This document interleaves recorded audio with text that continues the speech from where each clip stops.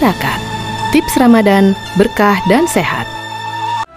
Kulit mengalami dehidrasi karena kurangnya asupan cairan saat puasa. Lalu, bagaimana cara mencegahnya? Simak penjelasan dari Dr. Linda Astari, spesialis kulit dan kelamin, berikut ini. Kurangnya asupan cairan dan makanan saat berpuasa dapat menyebabkan kulit menjadi kering dan kusam. Lalu, bagaimana mencegah kulit kering saat berpuasa? Tips mencegah kulit kering saat berpuasa. Tips yang pertama, penuhi asupan nutrisi dengan gizi seimbang yang terdiri dari karbohidrat, protein, lemak esensial, vitamin, mineral, dan mikronutrien yang dibutuhkan oleh tubuh.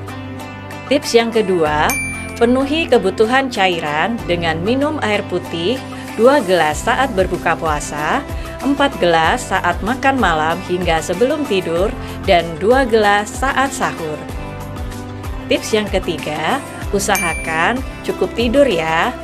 Tips yang keempat, Gunakan pelembab secara teratur dengan cara mengoleskan pada kulit wajah dan tubuh secara teratur segera setelah mandi, pagi, dan sore.